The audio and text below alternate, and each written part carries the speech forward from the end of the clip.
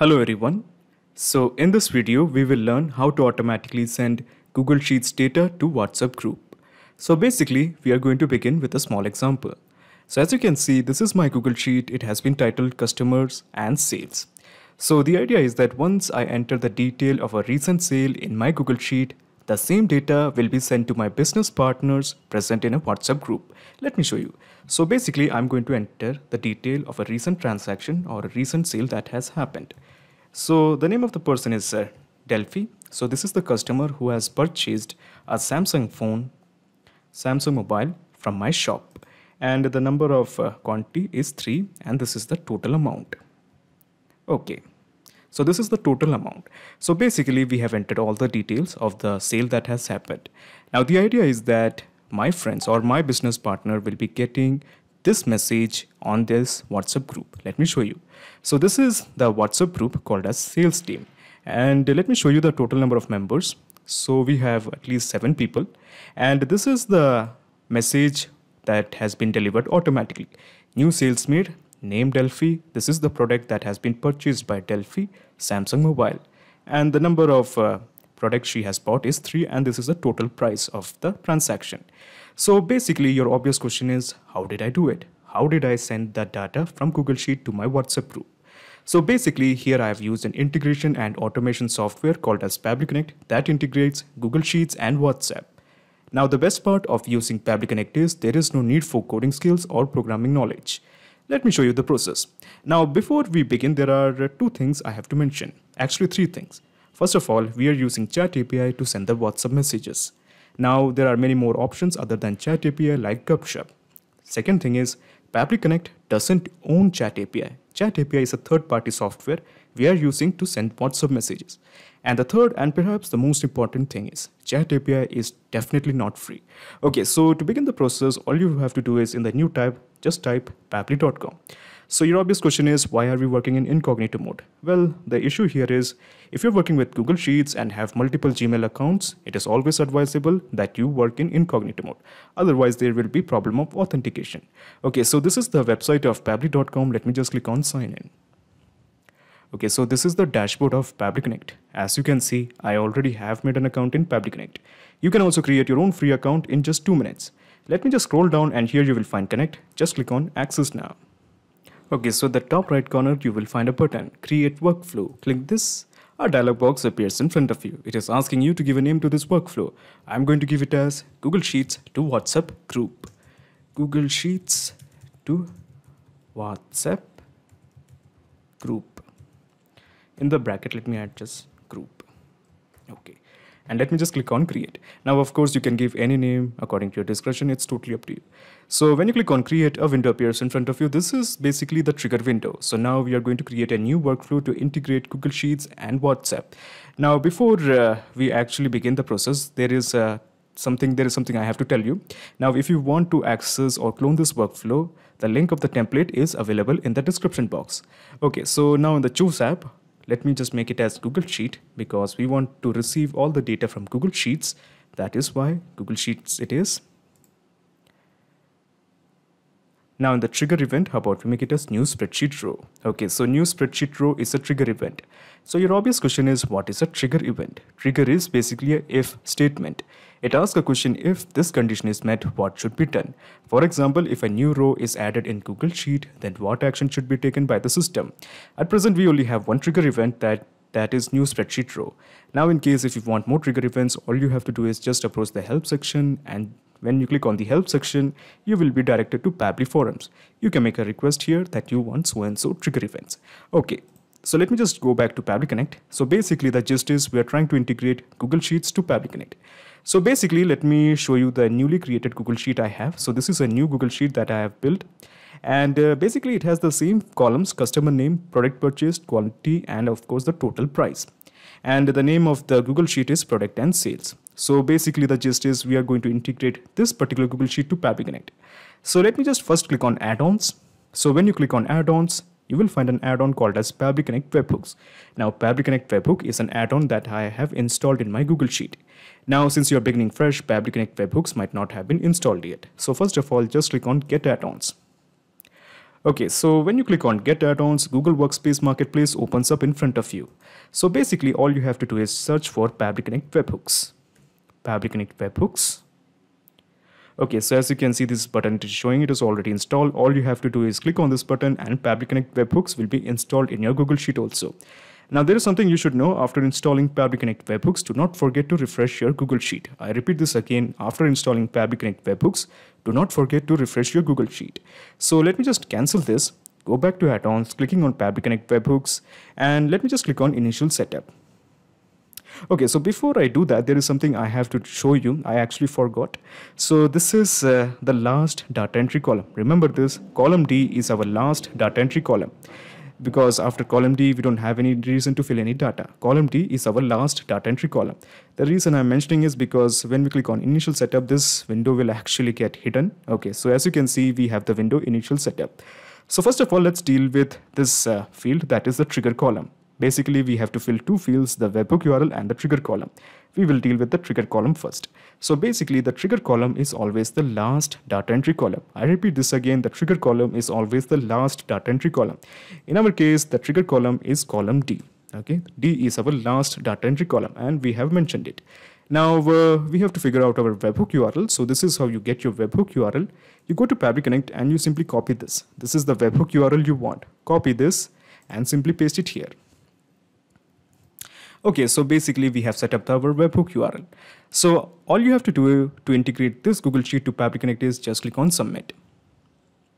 Okay, so we have uh, submitted that window and the window has disappeared.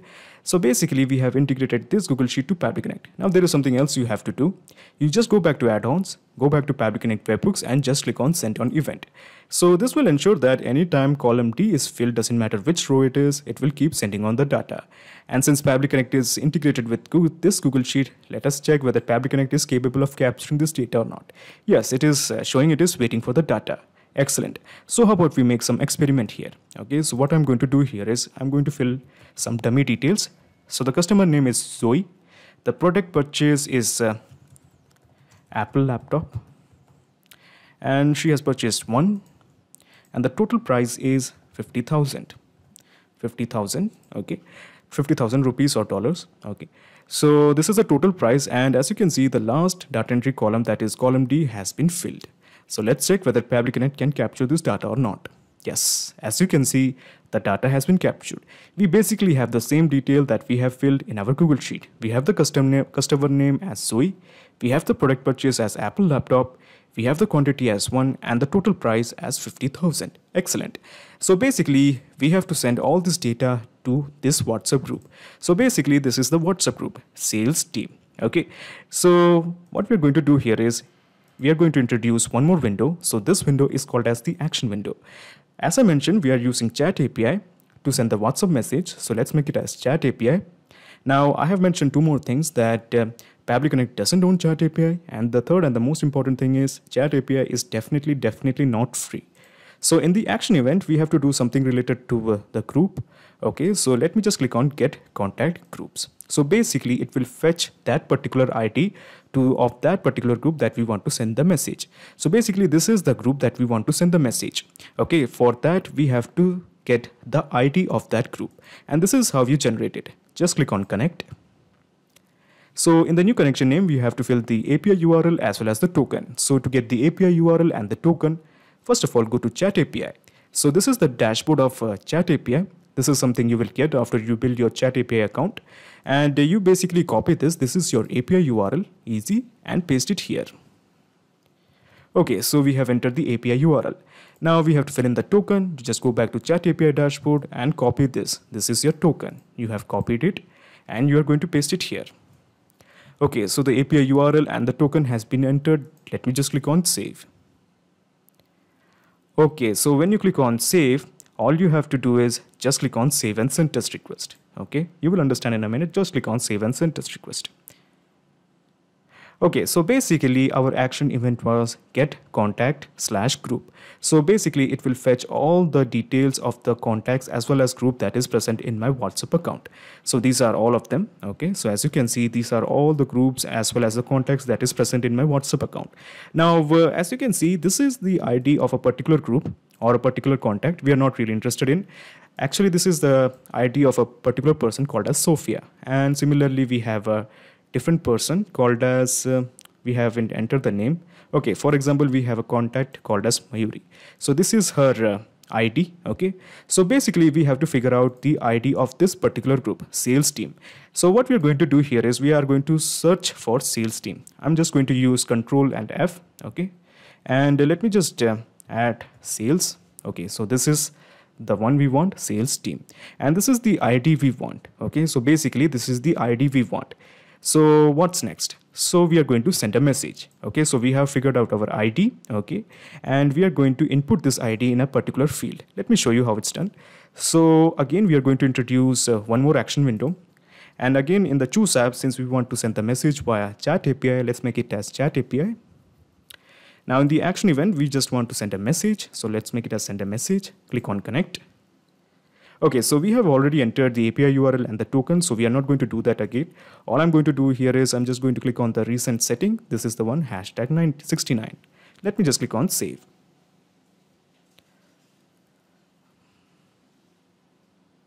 So as you can see, we have a set of fields in front of you, contact slash group, the phone number and the message.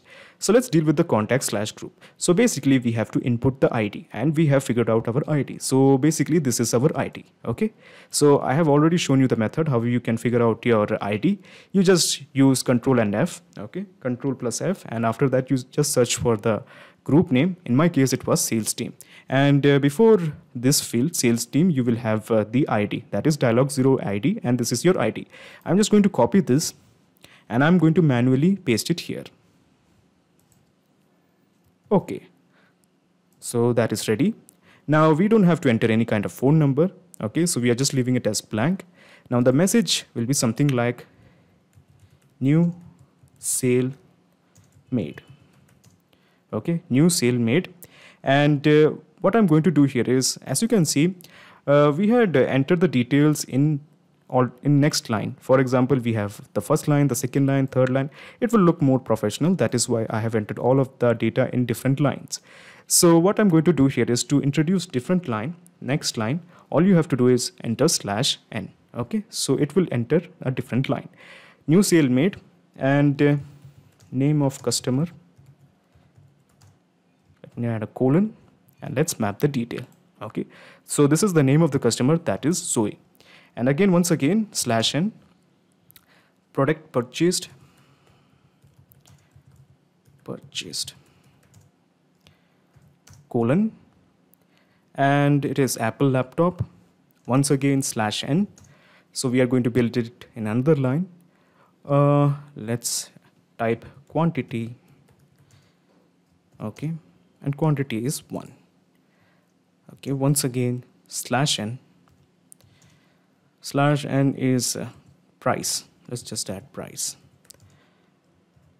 The price is 50000 okay so now we are ready. New sale made. Okay so this will come in the next line. This will come in the next line. This will come in the next line. This will come in the next line. And this will come in the next line. Okay so all you have to do is just click on save and send test request Okay, so it is showing the message has been sent. It's a very positive response. So what I'm going to do here is I'm just uh, going to take you to WhatsApp to check we have the message or not. So let me just take you there. Okay, so as you can see, we do have the message. This is the message, new sale made, name of the customer is Zoe. This is the product purchase, Apple laptop.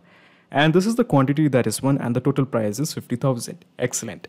So basically we have successfully integrated Google Sheets and WhatsApp with help of Pabbly Connect. Now before you leave, let me just explain you the whole mechanism in a nutshell.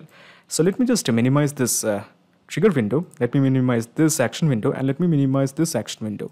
So basically this is the whole process in a nutshell. First you integrated Google Sheets to Pabbly Connect and then you have integrated Chat API. Now in the first action window you have basically got the contact ID.